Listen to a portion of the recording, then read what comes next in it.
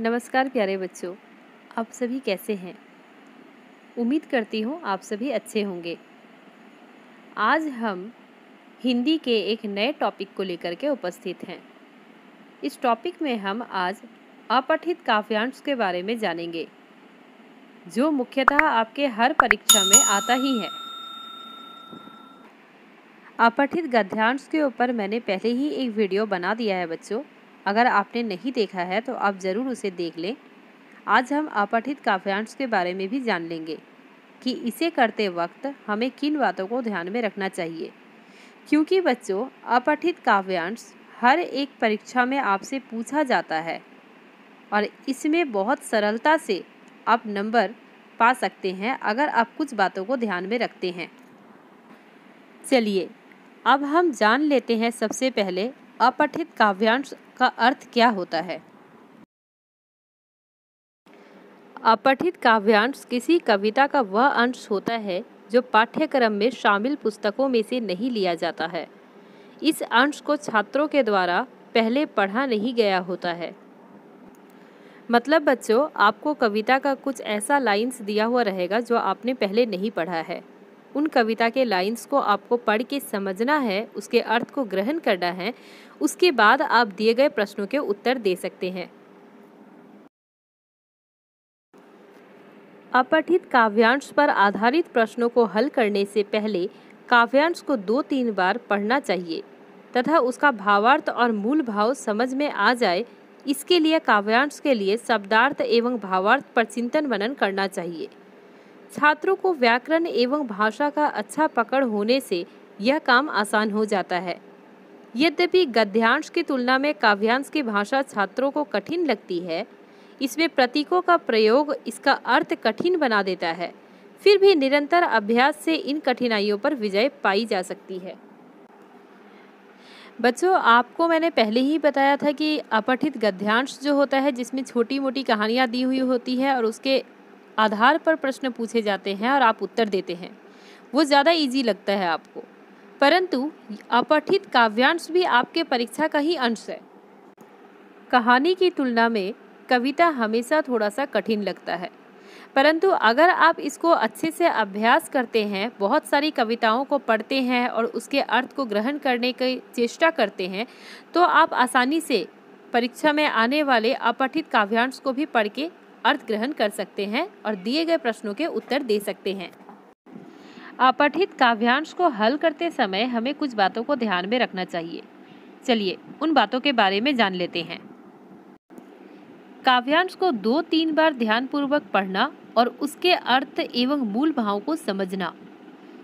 कठिन शब्दों या अंशों को रेखांकित करना। प्रश्न पढ़ना और संभावित उत्तर पर चिन्हित करना। प्रश्नों के उत्तर देते समय प्रतीकार्थों पर विशेष ध्यान देना। मतलब बच्चों, आप कविता को एक बार ना पढ़ें। कम से कम दो तीन बार कविता को ध्यान से पढ़ें ताकि आप उसके अर्थ को समझ पाए। कठिन शब्दों के अर्थ और अंश को रेखांकित कर लेना, अंडरलाइन कर लीजिए जो भी आपको टफ वर्ड्स लगते हैं। उसके बाद आप क्वेश्चंस को पढ़ लीजिए एक बार। क्वेश्चंस को पढ़ने के बाद दोबारा कविता पढ़िए और जो भी जगह पे आपको लगता है कि यहाँ पे उत्तर है, उसे अंडरलाइन करते हुए चलिए। चौथा नंबर जो पॉइंट है बच्चों, प्रतीकार्थों पर विशेष ध्यान देना। ये हायर क्लास में जो कविताएँ आती हैं, जो काव्यांश आते हैं, उसमें प्रतीकों का प्रयोग होता है। मतलब कुछ ऐसे शब्द दिए हुए होते हैं जिसका अर्थ अलग होता है। हायर क्लासेस में इस तरह की काव्यांश दिए हुए होते हैं, जहाँ प्रतीकार्थों पर विशेष ध्यान देना होता है। प्रश्नों के उत्तर काव्यांश से ही देना, काव्यांश से बाहर जाकर उत्तर देने का प्रयास न करना।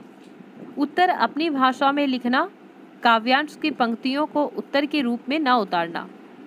यदि प्रश्न में किसी भाव विशेष का उल्लेख करने वाली पंक्तियाँ पूछी गई हैं तो इसका उत्तर काव्यांश से समुचित भाव व्यक्त करने वाली पंक्तियाँ ही लिखना चाहिए। मतलब बच्चों, बहुत सारे स्टूडेंट्स ऐसा करते हैं कि जहाँ पे क्वेश्चंस पूछा जाता है, वहाँ कविता की जो लाइन्स है, उसी को लिख देते हैं। ये गलती आपको नहीं करनी है। जब भी कविता में से या काव्यांश में से प्रश्न पूछे जाए, आपको अपने शब्दों में उत्तर देना है, कविता को समझने के बाद। उत्तर हमेशा आप अपनी भाषा में दें, काव्यांश की जो पंक्तियाँ हैं, उसको ना उतारें। और एक बात ध्यान देने वाली है कि जब भी आप काव्यांश को पढ़ के उत्तर दे रहे हैं तो बाहर से अपने शब्द नहीं जोड़ने हैं। आपको कविता में जो चीज़ कही गई है, उसी को अपने शब्दों में लिखना है। शीर्षक, काव्यांश की किसी पंक्ति विशेष पर आधारित न होकर पूरे काव्यांश के भाव पर आधारित होना चाहिए। शीर्षक, संक्षिप्त, आकर्षक एवं अर्थवान होना चाहिए।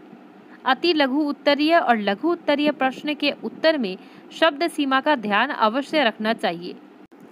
प्रश्नों के उत्तर लिखने के बाद एक बार दोहरा लेना चाहिए ताकि असावधानी से हुई गलतियों को सुधारा जा सके।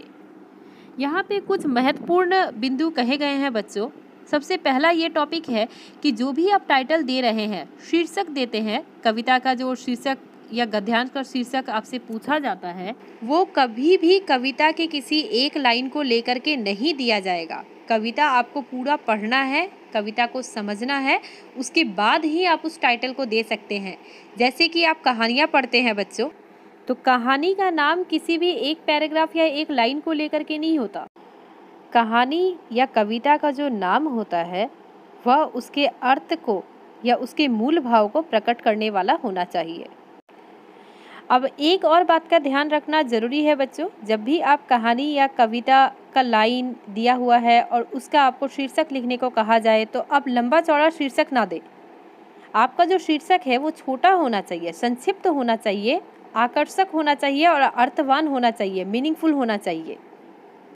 और आपका अंतिम महत्वपूर्ण बिंदु है बच्चों कि प्रश्नों का उत्तर लिखने के बाद एक बार दोहरा ले। जो भी आप आंसर लिख रहे हैं, उसको एक बार और पढ़ ले, ताकि अगर कुछ भी आपने गलतियाँ किया है, वाक्यों में अशुद्धियाँ हैं तो आप उसको ठीक कर सकें और आपके मार्क्स वहाँ पे ना कटे।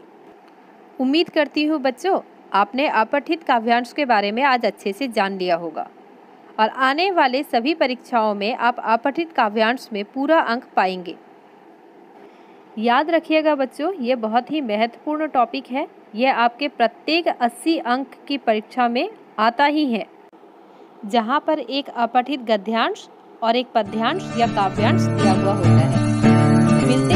अपने अगले वीडियो में